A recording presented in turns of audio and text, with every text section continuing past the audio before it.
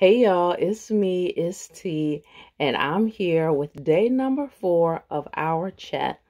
Five essential questions for intentional living. Day number four is how do you want to feel? How do you want to feel?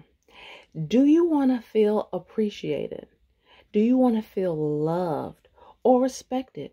Do you want to feel valued in your job? In your relationship, in your social or civic organization, you may not feel like your voice is heard. You may not feel like your opinion matters. So think about what it is that you can do, how you can speak up, how you can show up for yourself, how you can advocate for yourself and for others so that you can feel the way that you want to feel. You want to feel that respect.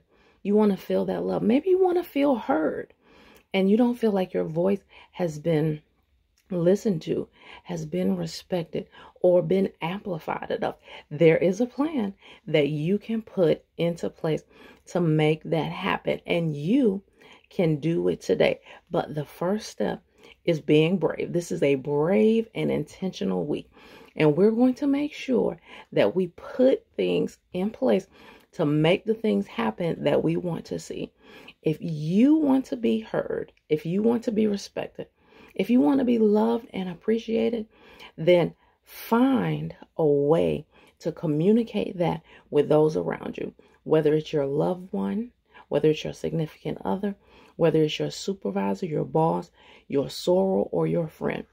Do it and do it today. Admit it and move forward in intentional living for a purpose driven life.